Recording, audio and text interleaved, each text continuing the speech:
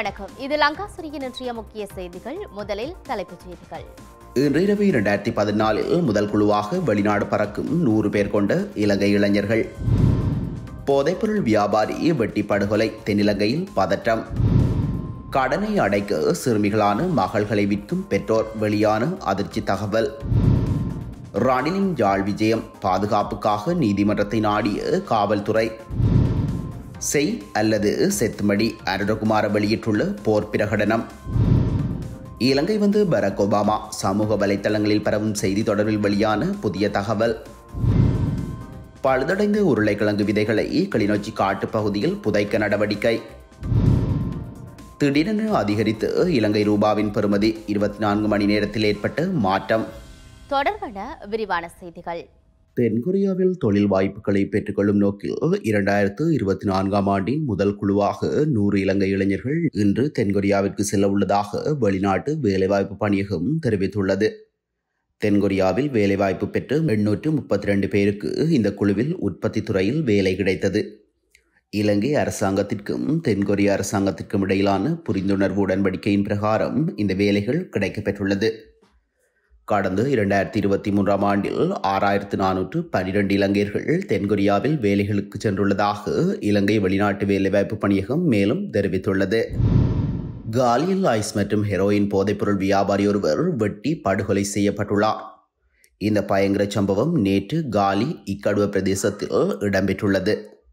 மூன்று பிள்ளைகளின் தந்தையான நாற்பத்தி ஐந்து வயதுடைய ஜெயலத் குமாரசிறி என்ற நபரே சம்பவத்தில் உயிரிழந்துள்ளார். அவரது வீட்டுக்கு அருகிலுள்ள ஒழுங்கையில் வைத்து அவர் வெட்டி படுகொலை செய்யப்பட்டுள்ளதாக போலீசார் தெரிவித்துள்ளனர். முச்சக்கர வண்டியொன்றில் கூறிய ஆயுதங்களுடன் வந்த மூவர் மேற்படி நபரின் தலையையும் இரண்டு கைகளையும் காலொன்றையும் துண்டு துண்டாக வெட்டி படுகொலை செய்துவிட்டு தப்பிச் சென்றுள்ளனர். போதைப்பொருள் வியாபாரத்தில் ஏற்பட்டு போட்டி காரணமாக இந்த கொலை இடம்பெற்றிருக்கலாம் என்று சந்தேகம் வெளியிட்டுள்ள போலீசார். கொலை சந்தேக நபர்களை கைது செய்வதற்கான நடவடிக்கைகளை ஆரம்பித்துள்ளனர். தமக்கு ஏற்பட்ட இழப்பை ஈடு செய்யும் வகையில் தமது சிறுமிகளான மகள்களை பெரிய கோடீஸ்வரர்களுக்கு பாகிஸ்தானைச் சேர்ந்த விவசாயிகள் விற்று வருவது தொடர்பான செய்தி பாரிய அதிர்ச்சியை ஏற்படுத்தியுள்ளது. குறிப்பாக பத்து தொடக்கம் பனிரெண்டு வயது வரையான சிறுமிகள் நாற்பது தொடக்கம் ஐம்பது வயதுடைய கோடீஸ்வரர்களுக்கு விற்கப்பட்டு வருகின்றனர். கடனை அடைப்பதற்காக தனது மகளை நாற்பது வயதுடைய நடுத்தர வயது ஆணுக்கு திருமணம் செய்து வைத்ததாக பத்து வயது சிறுமியொருவரின் தந்தை தெரிவித்துள்ளார். மேலும் திருமணத்திற்கு ஈடாக அந்த நபர் அந்த விவசாயிகளுக்கு நிறைய பணம் கொடுத்துள்ளதாகவும் தெரிய வருகின்றது. மோசமான வானிலை காரணமாக ஏற்பட்ட வெள்ளப்பெருக்கினால் விளைநிலங்கள் வெள்ளத்தில் மூழ்கியுள்ளன. இதனால் இந்த விவசாய செய்கைக்கு பெற்ற கடனை அடைப்பதற்காகவே விவசாயிகள் இவ்வாறு தமது மகள்களான சிறுமிகளை விட்டு வருவதாக தெரிவிக்கப்படுகின்றது. மேலும் சிலர் பதிமூன்று வயதிலும் சிலர் ஐந்தாம் வகுப்பில் தேர்ச்சி பெற்றவுடன் திருமணம் என்ற பெயரில் பெண் குழந்தைகளை விட்டு வருவது தெரிய வந்துள்ளது. இதேவேளை இரண்டாயிரத்தி இருபத்தி ரெண்டில் நடாத்தப்பட்ட கணக்கெடுப்பின்படி இளவயது திருமணம் காரணமாக பாடசாலைகளில் பிள்ளைகள் வருகையும் பாதிக்கப்பட்டுள்ளது. ஐந்தாம் வகுப்புக்கு வந்தவுடனேயே பெண் குழந்தைகளுக்கு நிச்சயதார்த்தம் அல்லது திருமணம் என்று தெரிவித்துள்ளனர். ஜாழ்ப்பாணத்திற்கு அதிபர் ரணில் விக்ரமசிங்கு விஜயம் செய்ய உள்ள நிலையில் அதற்கெதிரான போராட்டங்கள் முன்னெடுக்கப்படலாம் என கருதி எட்டு பேருக்கு எதிராக ஜாழ்ப்பாணம் நீதவான் நீதிமன்றத்தில் வழக்கு தாக்கல் செய்யப்பட்டுள்ளது. ஜாழ்ப்பாணம் காவல்துறையினரால் நேற்று குறித்த வழக்கு தாக்கல் செய்யப்பட்டுள்ளது.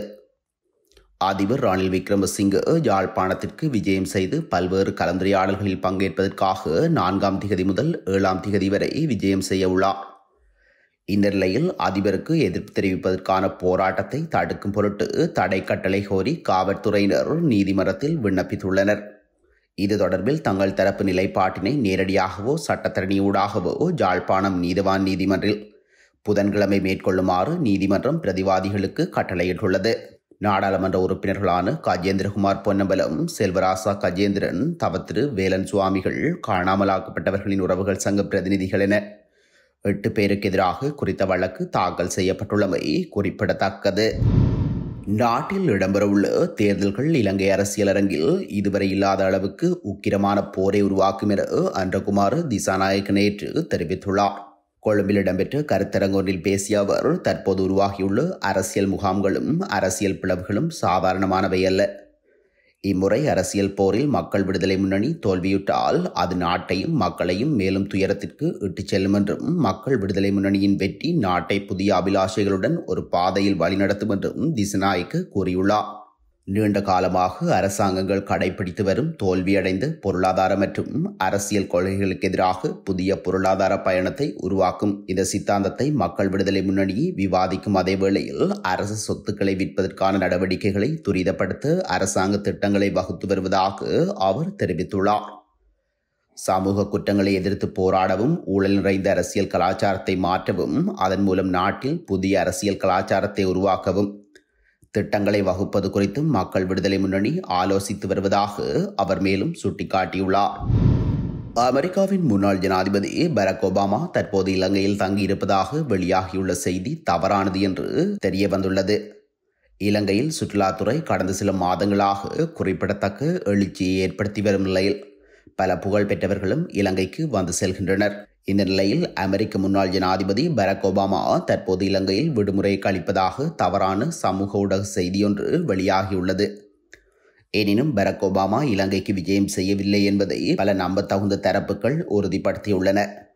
இந்த நிலையில் பராக் ஒபாமா இளநீரை ருசிக்கும் உண்மை படங்கள் இரண்டாயிரத்தி பதினாறில் அவர் ஜனாதிபதியாக இருந்தபோது லாவோஸுக்கு மேற்கொண்டு விஜயத்தின் போது எடுக்கப்பட்டுள்ளது. அதே நேரம் சமூக ஊடகங்களில் தற்போது பகிரப்பட்டு வரும் படங்கள் இந்தோனேசிய படைப்பாளரான அகன் ஹர்ஹாப்பினால் தயாரிக்கப்பட்டவை என்பது தெரிய வந்துள்ளது பழுதடைந்த உருளைக்கிழங்கு விதைகளை கிளிநொச்சி வனவள திணைக்களத்திற்கு சொந்தமான காட்டுப் பகுதியில் உரிய நடைமுறைகளை பின்பற்றி புதைப்பதற்கான நடவடிக்கை எடுக்கப்பட்டுள்ளது.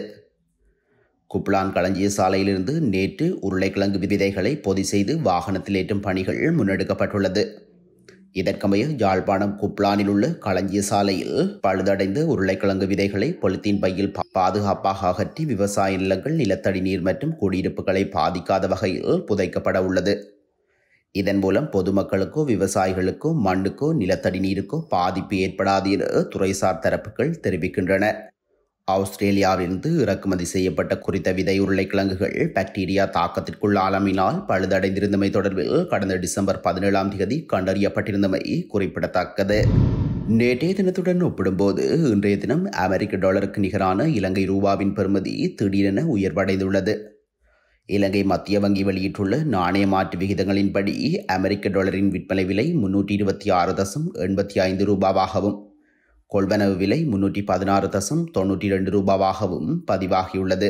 மேலும் கனேடிய டாலரின் விற்பனை விலை இருநூற்றி நாற்பத்தி எட்டு தசம் பத்தொன்பது ரூபாவாகவும் கொள்வனவு விலை இருநூற்றி முப்பத்தி ஏழு தசம் எழுபத்தி ஏழு ரூபாவாகவும் பதிவாகியுள்ளமையும் குறிப்பிடத்தக்கது.